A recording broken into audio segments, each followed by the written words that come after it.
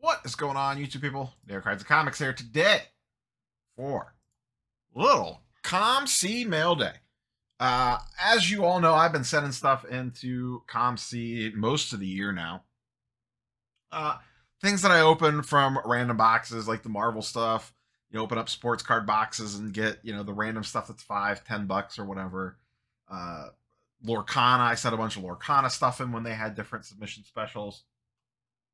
And I've been slowly, slowly, slowly building up a little bit of a war chest over there. And uh, rather than cash it out, my plan always was to send in the cards that I have laying around my desk that I don't feel like dealing with that fall into that 1 to 10 to 15 dollar range because I don't like plain white envelope through eBay. I get it. A lot of people have a lot of success with it. I don't have the time nor the patience to deal with it. So I send that stuff off to COMC. When it sells, if it sells, it sells. It's not that big of a deal. It's not like I have a ton of money invested into that stuff. It's just leftovers from boxes that I opened. I have now taken that stuff and made a couple purchases, picked up some PC items, which, like I said, was the plan from the beginning. Get rid of unwanted piles of cards on my desk that are taking up space and turn that into a handful of cards that I would actually like to own. Uh, I decided to ship some of those home. I had a little stockpile of about, uh, what is it, like five cards, I think. So I figured, ah, for the end of the year, let's go ahead and ship those bad boys home. Uh, and then, you know, we'll build up a pile again and then have some shipped home. I actually bought some raw stuff to send in for grading uh, on the platform. I will note here, this video is sponsored by my good friends over at COMC. Uh, they obviously sponsor the weekly sports card market update, and they are also sponsoring this video today as well for me. So let's go ahead and work through these, talk through it. Like I said, all this stuff is basically PC stuff. There's not like an air quote investable card in here. I bought these cards because I thought they were cool. Uh, first up, an actual raw card, and the rest are slabs. This is one that's eluded me for a while. Uh, I've never owned one of these before. Wanted one for a long time. Uh, just never came across one, and then just figured, ah, submitted an offer on one on COMC and snagged one. It is from the first edition, the Peach Momoko edition of Marvel Anime. A little dust there. It is the Mosaic. The I believe this is the Mosaic. Yes, Mosaic Ghost Spider from 2020 Marvel Anime. Picked one of these up raw. I debated submitting it for grading, and then I was like, I don't really need this card in a slab. It's perfectly fine raw, or I'll, I'll end up sticking it in uh, a one touch probably. I think this was like 25 or 30 bucks or something, which is about what they go for. Uh, I'm a big fan of the Peach Momoko art, so happy to pick that one up. We'll save that one for a second. Another Spider-Gwen card. This is from, this is the first time I've ever actually had a Marvel Gems card in hand. Very underrated set from 2016. I shouldn't say underrated because they do get quite expensive, but you just don't see them a ton. Actually bought this raw and submitted it for grading because I did want this one slabbed up. Uh, I knew that it probably wouldn't grade well. I looked the card over. It has, you know, whiting on the top and bottom. It is a thicker, thicker card, uh, like a 70 point card. So I, I knew that it probably wasn't going to get the best grade in the world. But I was okay with that. I just wanted it in the CGC holder. Uh, these cards look really good in hand. The silver's got a little holographic on it. Style. This is numbered out of 225. This is the base version of the card. Uh, there's a bunch of different parallels of these. I wouldn't mind picking some of the other ones up now that I've kind of seen this one in hand and how nice this looks. So I went ahead and picked one of these up. I think this was like 80 bucks maybe plus the 20 bucks to grade it or whatever it is. Uh, these don't come around very, very often at, you know, semi-reasonable prices. So I went ahead and snagged one of those. Uh, a non-Marvel card. This is a fun one.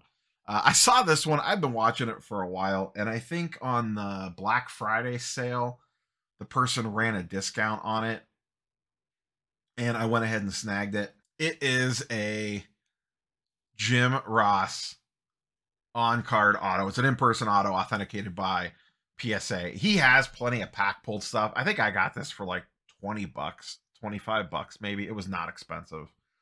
Um, but I, I honestly, a lot of them were sticker autos, and I honestly didn't like a lot of the images on them, or they weren't WWE cards. And I wanted something that had uh, the WWF or WWE logo on it. He has other stuff out there, but for 20 or 30 bucks, I just went ahead and snagged this one. pretty clean auto on it.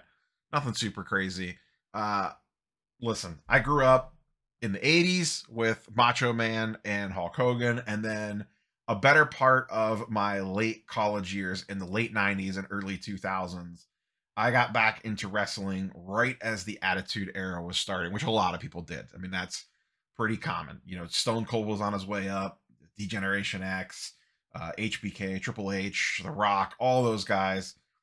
I was pretty hardcore from probably like 96, 97 into the early 2000s.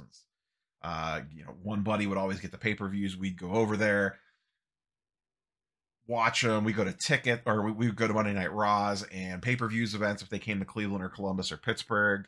I think the most famous match I saw in person was it was in Cleveland. It was there's two of them actually. The Hardy Boys ladder match, where um, I forget what pay per view it was, but it was in Cleveland. It was like the legendary Hardy Boys ladder match. It was like put ladder matches on the map.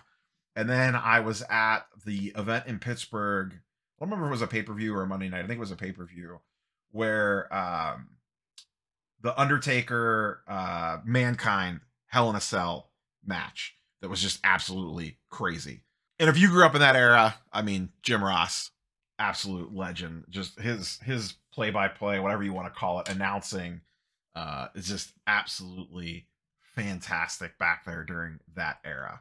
Last two here, uh, I'll say the best one for last. This is another fun one. Uh, these are fantastic cards. I've actually purchased a few more of these raw and sent them into grading at PSA. Uh, but I had to have this one, the old school CGC blue label. This is from 2020 Marvel Ages. Um, I wanted one of these when the McFarlane signing was going on, and I couldn't find one. They were all like super jacked up in price because everyone was looking for them. This would be a great card to have McFarlane sign if he does that again. These cards are really nice in hand. This is, like I said, Marvel Ages 2020, uh, the Decades series. Uh, this is the Venom card. Absolutely little gorgeous mosaic going on there. Looks great in hand. Love like the Decades 1980s logo across the top. And this is a CGC 95, so this is a gem mint. So this would convert to a 10 uh, if I send it in for reholdering, but I will not do that. I would rather have it in the CGC blue label. Uh, and you can see you got the issue there on the back. actually have that issue um, ASM 316 in a CGC 98. So this will pair up nicely with that for a display at some point in time. Um, but just great looking card. I, like I said, I actually went on COMC and found a few others of these raw and snagged them and sent them in the PSA. I believe this is a PSA 10 Pop 1. Uh, they don't come up very often in there. There's a Spider-Man one that's pretty good looking as well. And then the Wolverine one is okay-ish. Uh, I looked at some of the others from the set, but the Venom by far is the best looking one. And like I said, it just really pops in hand. Glad to pick this one up. This was uh 50 bucks maybe, 40, 50 bucks, I think, 50, 55, somewhere in there. It wasn't super expensive. Uh, but to, to get it already graded in a gem at 9.5, especially in an old school CGC label, uh, absolutely love that. Last but not least, one I've been looking for for a while. I have the, I guess, sister version of this card, the partner that goes with it. Uh, these normally go for, I want to say like 500 bucks. This was the most expensive card that I got out of the lot someone had it. This was definitely a Black Friday pickup. They had it discounted like 30% off or whatever it was. And I think I picked this up for like 300 or 350. It was a pretty good deal. Uh, it is from the End of the Spider Verse set, and it is the Hailee Steinfeld auto. But this one has the inscription on it with the Spider Gwen inscription for the character. I have, which I picked up on COMC as well, the regular version of this card. So I picked this one up first. This one goes for a lot less. I mean, it's still expensive, a couple hundred bucks. Uh, but now I have picked up this one and already graded in a CGC 9. These are a little bit tougher grades, a lot of chipping uh, on the edges of these. So this one, as much as I would like to have the labels match, uh, I just refuse to crack a Marvel card out of the blue label unless I absolutely have to. So this is a cool one, pretty good auto. It's mostly on sticker. It went off a little teeny tiny bit there, but given the discount that I got on this compared to what they typically sell for, these also don't come up a ton.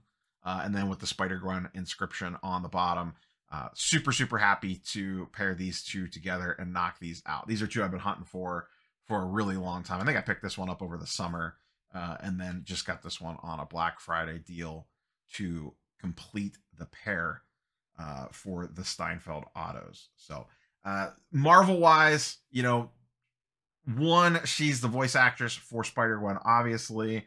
She's got the whole Kate Bishop thing going on. There's a lot of Hailee Steinfeld buzz in general. So, I'm happy to lock these one away. I would like to pick up uh, the last thing that I'm really looking for with her auto on it is a, and I normally don't like comic books graded very often, but, or I'm sorry, autographed very often, but I wouldn't mind picking up a CGC 9.8 of something with her auto on it. I have a save search for it. There's a couple certain books that I like uh, that I have my eye on, but they usually are like very firm on price, and I think they're a little overpriced. So I've just been trying to remain patient because there's really no hurry for me to grab anything. So that's all I got for you, boys and girls. Hope you like the pickups. Curious which one's your favorite. Drop it in the comments down below. We'll catch you, boys and girls, on the next one. Peace.